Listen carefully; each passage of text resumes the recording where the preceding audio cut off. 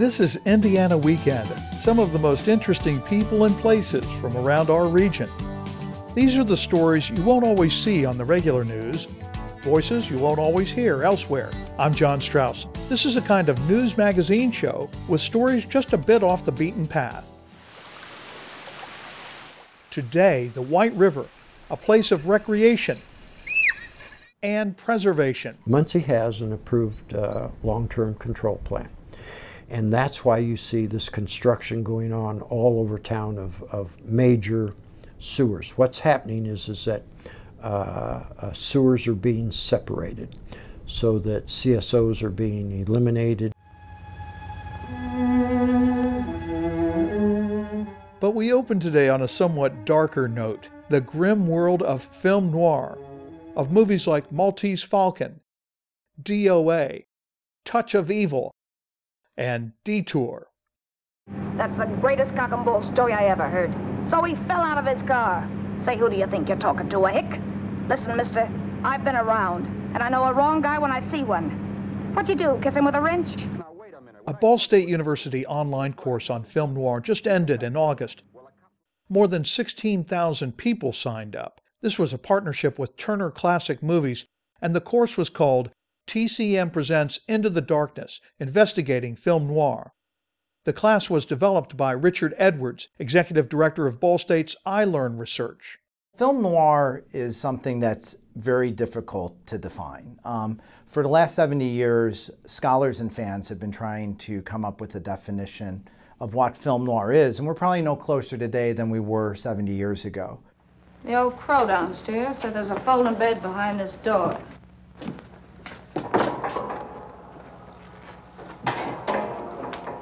You know how to work it? I invented it. Overall, what I tend to think of when someone asks me, define film noir, is that there were a certain number of films that started to be made in the early 1940s that felt very different from other detective and crime thrillers that had been made in the 1930s. These films seemed to have a grittier substance. They seemed to have a more excessive style. They seemed to be telling uh, a, this crime story in new and different ways. And what happens is there are all these films being made during World War II, mostly around the crime thriller. Films like The Maltese Falcon, Laura, Double Indemnity. And critics in the US are starting to pick up on that something is happening in Hollywood. But it's not until 1946 in France that a couple film critics, Nino Frank and Jean Paul Chartier, are actually seeing these films all at once. During World War II, these films were, Hollywood films were embargoed in France. And so critics like Frank and Chartier were able to see hundreds of films in a very compressed time period, and they were able to start to see how these films like The Maltese Falcon and Double Indemnity were different. At the same time, they, there was also, it was very popular in France that they were translating the hard-boiled novels of Raymond Chandler and Dashiell Hammett. And they were calling these books, when they were translated into French, série noire, um, the noir series of hard-boiled literature. And when Nino Frank was looking for a term to talk about these new dark and bleak crime thrillers, he coined the term film noir. It's an American film style with a very French name. There's disagreement over the first movie to really use this style, but a great early example is 1941's Maltese Falcon, directed by John Huston, starring Humphrey Bogart as Private Eye Sam Spade.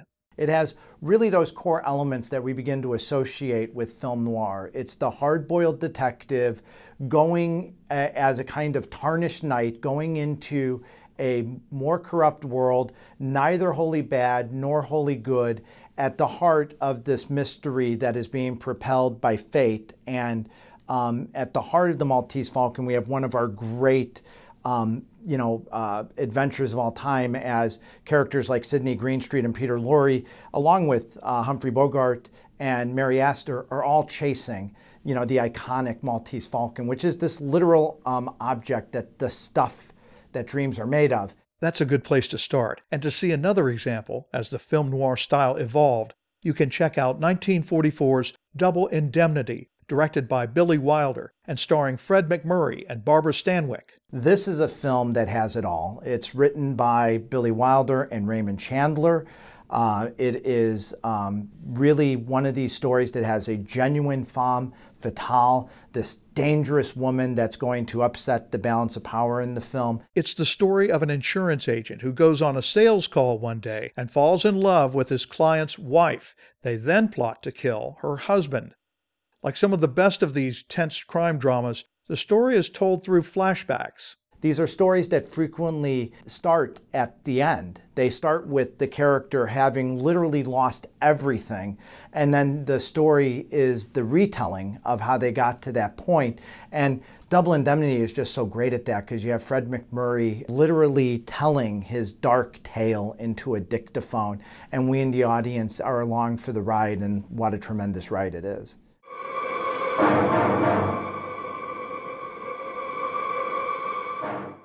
It's one of the reasons why I'm teaching this course on film noir is to really recognize just how many amazing elements of cinematic storytelling were really advanced and innovated in the film noir style and genre.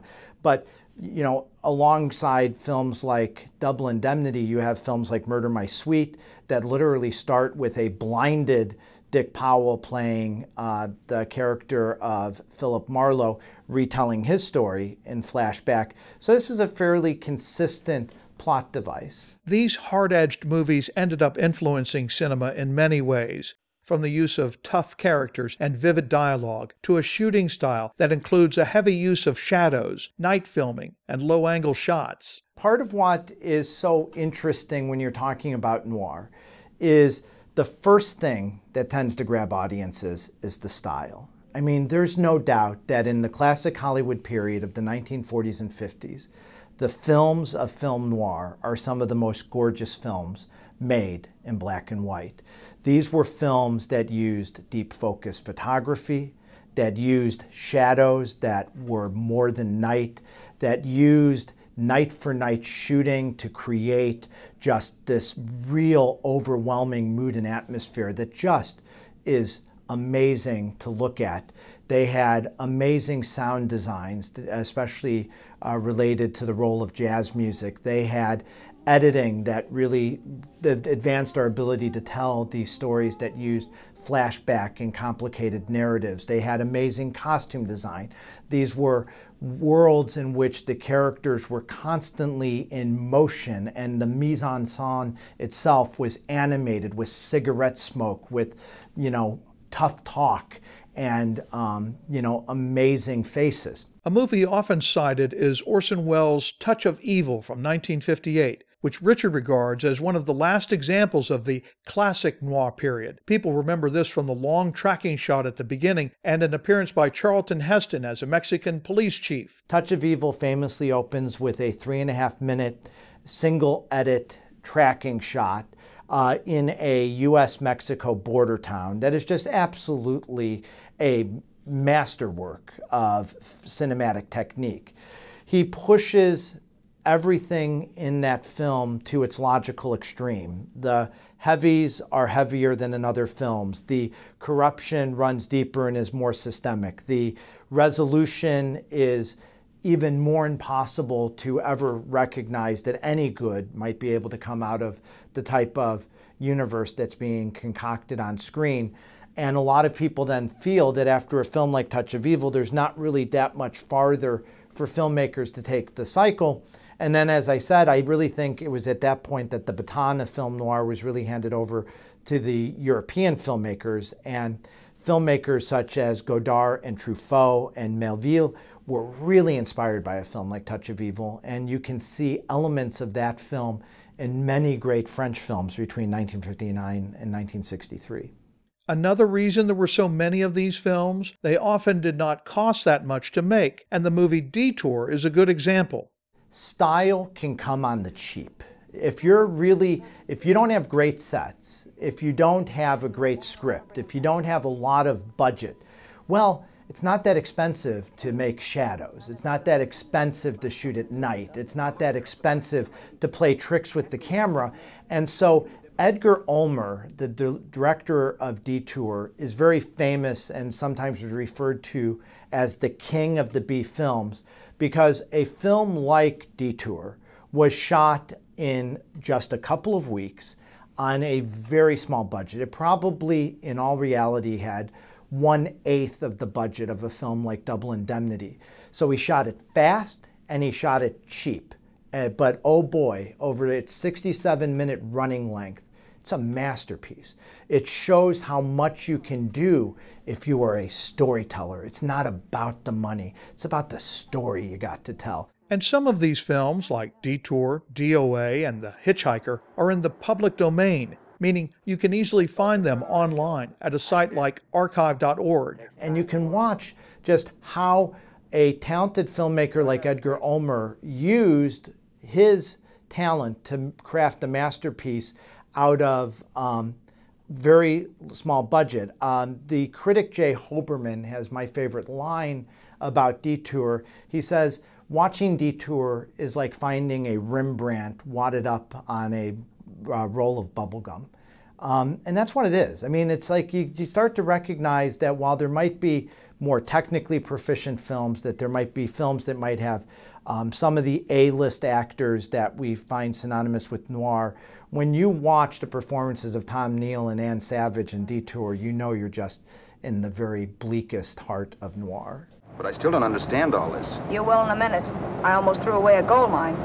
1850 isn't to be sneezed at. Style isn't the only reason this genre has remained popular for more than 70 years. These filmmakers were talking to an audience that was jaded in some way and ready for a view of life different from what Hollywood had offered before. These were stories that were told at a time when America was very anxious. We had just come out of World War II. We were entering into the Cold War, the communist witch hunts, and the paranoia of the 1950s, along with the rise of corporate and consumer culture. These were anxious times in America, and these were stories that we were telling ourselves almost as myths to help us understand these radical shifts and disruptions and dislocations that were happening in everyday life. And I think we can go back and look at these because these are not the romantic happy endings of the Hollywood era. These are films that were much more realistic, much closer to the ordinary feelings of discomfort and anxiety that ordinary Americans were feeling. And I think when we watch these films today, we start to see certain parallels with how we feel about culture today.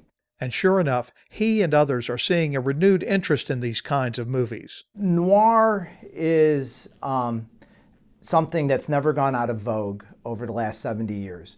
Part of what I think is so fascinating about film noir is even when we struggle to define it, it's the type of film that really, if you turned it on TV today, you would know it if you saw it. There's very few people who can watch films like Out of the Past, The Killers, DOA, Kiss Me Deadly, Touch of Evil, and go, boy, I, those look like westerns or musicals to me. I mean, we know they're films noir. But what was so amazing is these films were so powerful, they then led European filmmakers in the early 60s, especially in the French New Wave, to make their type of hard boiled crime thriller. Films like Jean, uh, Jean-Luc Godard's Breathless or Francois Truffaut's Shoot the Piano Player.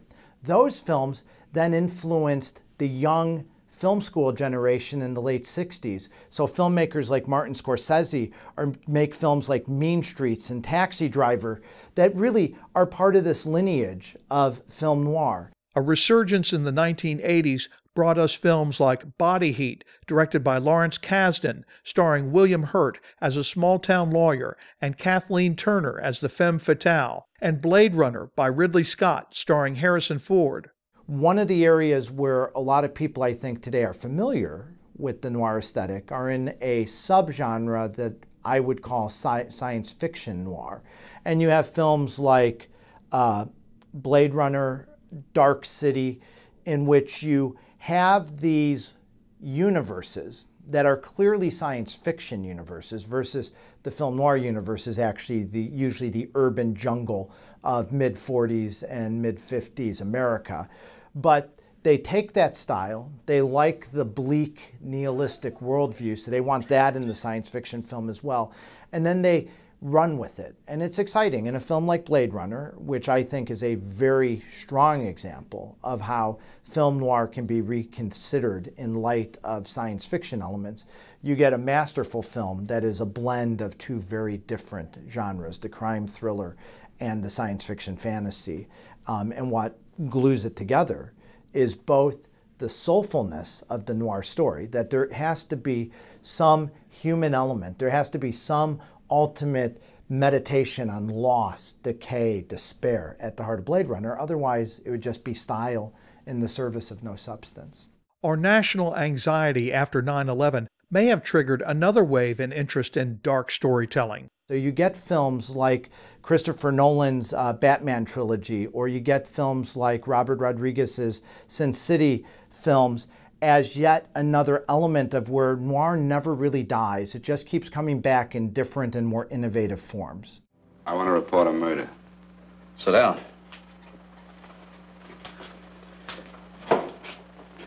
Where was this murder committed? San Francisco, last night. Who was murdered? I was. Thankfully, movies aren't the only way to cope with the stress of modern life. For some folks, a trip to the river works even better. People don't know what White River and what they're missing until they get out here. This is the best kept secret that this county has. Guys that are executive chefs for big name people that this is what they come to do, and he just says this is just his stress relief. In the closing weeks of the season, you tend to grab for every last scrap of summer you can get. Recently, a fellow on Facebook put together an inner tubing trip on White River, and 500 people signed up. We don't know exactly how many folks showed up at the starting point near Yorktown, but it was a lot. White River may be one of the state's least recognized recreational resources. We talked with Robbie Meixel, owner of Canoe Country in Daleville recently, on a beautiful day with long shadows under the trees. He talked about the reaction people have when they get out on the water. They really enjoy this river because of how scenic it is and how peaceful and how secluded that the river is. I mean, there's not a lot of development along the water, so you don't get a lot of traffic, which which is nice because you don't you don't hear the people, you don't hear the traffic, you don't hear that city noise. You're able to get out and enjoy nature. If the river is a place of peace and beauty now, well, it wasn't always that way. John Craddock is Director Emeritus of the Muncie Bureau of Water Quality. In fact, he started the city's Water Pollution Control Agency in 1972 after working on pollution issues while a student at Ball State. He remembers what the river was like in the late 1960s and early 70s and showed us photos he's taken over the years. This is when it was red and green, orange, blue, every color, the rainbow that one could think of, uh, uh, except you don't want it that color. Uh, this was also the same period of time that across the United States, it wasn't just Muncie, Indiana, it wasn't just the White River. This is during the same period of time that like the Cuyahoga River uh, in Ohio was burning and catching fire. Uh, don't forget that EPA came into existence in 1970. The reason that it came into existence was because we as a society had not done environmentally what we should be doing. So our White River was pretty typical as the rivers across the United States. It was highly polluted, it was full of industrial waste, raw sewage, it was weedy, it was overgrown, it smelled, there were tires, refrigerators, bicycles, uh, we drove over it and went to work as a society. We ignored it, we turned our backs on it, and uh, it was not used recreationally uh, uh, for hardly anything. White River was hardly alone. A lot of the damage here and elsewhere occurred before people thought much about protecting the environment. The first Earth Day observance wasn't until 1970, and the Environmental Protection Agency was started later that year. Early on, the effects of chrome, cadmium, pesticides, and other chemicals in the water were not well understood. Some of them we couldn't even hardly test for and detect, let alone have any long-term studies knowing about anything from birth defects to potential cancer-producing uh, agents. These were studies that came along later.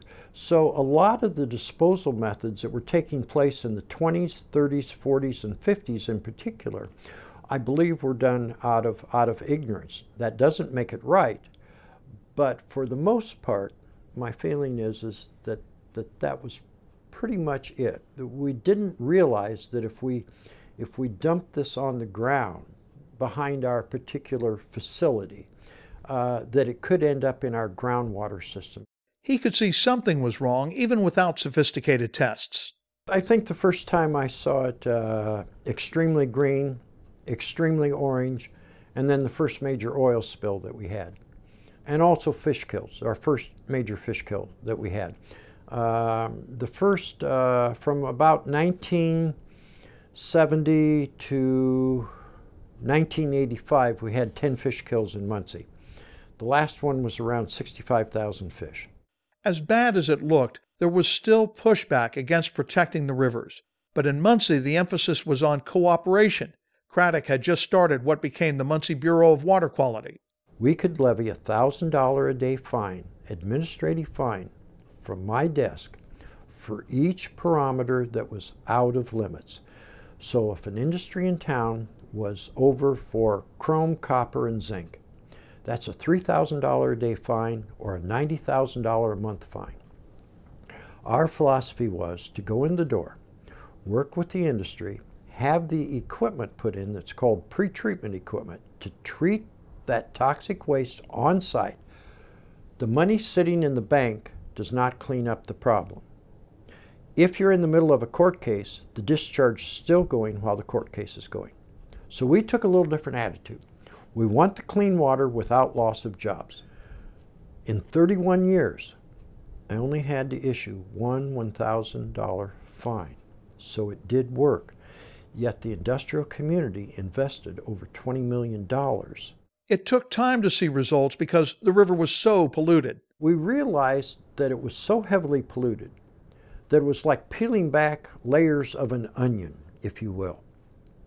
And we had to get so many layers peeled back before we would actually see the change. And I remember one year, all of a sudden, and I, I it must have been late 70s in there somewhere, uh, to where all of a sudden we start, started to see the increase in aquatic insects. We found our first freshwater mussels that weren't there when we came and hadn't been there maybe for 20, 30, 40 years uh, we started to see a change in the aquatic insects to where we would only find tubifex worms and those uh, organisms that are found in highly polluted water. We started to find stoneflies, mayflies, caddisflies that are clean water species. To where now you're up to the point to where we went from 30 species of fish to up to 65 species of fish now, more than doubled them. The bottom two feet of the river, when we started, was sewage, sludge, and industrial muck. When you stepped in it with your waders, there was a and a black ooze would come out. Now it's sand, gravel, or bedrock. Here's how it looks today a river that's an attraction for fishing and recreation. I had people that came from northern Indiana that went on the Mongo River. Um, they go up there all the time. They're from Fort Wayne area. Uh, they came down here a couple weeks ago because they were closed due to flooding. Um, these ladies said, your river is just so much nicer, it's so much cleaner, um, a lot more trees and secluded and just a lot more rapids and a lot more twisting and turning to make it more more fun and more adventurous than just, you know, paddling on a flat water or something that's more of a still running water. Even when the water's down and the current is slow, there's still something about the river that draws people here. It's just such a calming effect. I mean, just to be out on the water, to be out in nature, it's just stress and everyday worries just they just melt away. We have a bald eagle living along the section of the river, um, and people see it usually on a daily basis, if not sometimes different, but you know, it flies up and down this section of the river all the time that where people see it. And it's the first time that I can ever remember um, seeing a bald eagle and it hangs around here quite frequently and we see it quite a lot. More needs to be done, especially controlling CSOs, the combination sewer overflows that routinely dump raw sewage into White River. Plans call for spending more than $100 million on that effort in the Muncie area. Craddock says it may take another 20 years to really clean the river. Right now, I don't know. On a grading scale in 1970, I would have given the White River an F or an F minus if there's such a possibility. I would give the White River in Muncie right now most times a B. To get up to an A or an A plus, like many things in life, that first 40 years versus the next 20, the next 20 is probably going to cost as much or more than the last 40. To finish the cleanup, what Craddock calls the last five percentage points of cleanliness will be expensive. Then the question becomes are we willing to pay for that? How much, we'll have to decide, is a really clean river worth? That's our show for today. Thanks for being part of it with us. Hope you'll join us next time as we find more stories off the beaten path from across the state on Indiana Weekend.